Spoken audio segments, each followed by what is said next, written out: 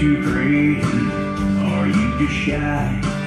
Perfectly happy without a guy.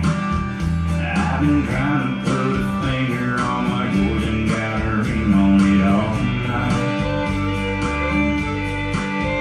It just don't make any sense how you're better than a 10 out of 10. Never met a single girl like you.